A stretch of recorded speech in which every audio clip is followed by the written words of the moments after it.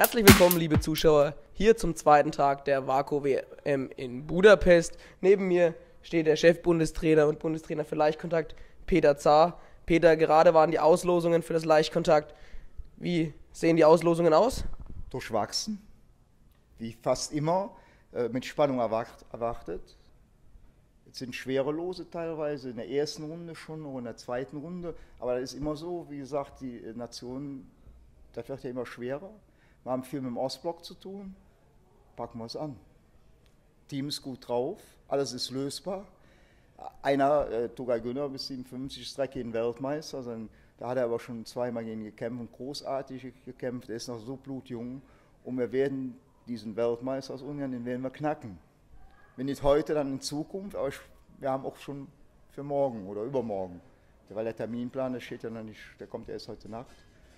Äh, wir sind da zuversichtlich. Wir werden alles geben. Auf jeden Fall werden wir eine Leistung abrufen, wo jeder sagt, Leute, besser kann man nicht kämpfen. Okay, das klingt auf jeden Fall motiviert ja. und zuversichtlich. Müssen wir, müssen wir. Sehr schön. Ähm, eine Prognose? Eine Prognose, äh, Medaillenspiel oder äh, generell? Generell, also die Leistung, äh, werden wir Leistung abliefern. Also in der Analyse bin ich fest von überzeugt, dass da äh, gute äh, Analysen, auch einzelne Beurteilungen rauskommen. Vom Medaillenspiel haben wir ein Ziel gesetzt. Wir wollen zwischen vier und sechs Medaillen. Ja. Und alles, was über Bronze rausgeht, umso besser. Schauen wir mal. Wir verkaufen uns aber und kämpfen, das wisst ihr, bis zum letzten Mann oder bis zur letzten Frau. Das kriegen wir hin.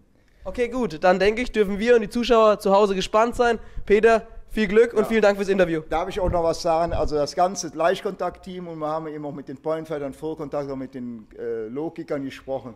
Ja, viele Grüße nach zu Hause und drückt uns die Daumen. Schaltet den Livestream ein ja, und unterstützt uns auch so. Wir wissen, dass ihr uns die Daumen drückt. Vielen herzlichen Dank von der Mannschaft. Dankeschön.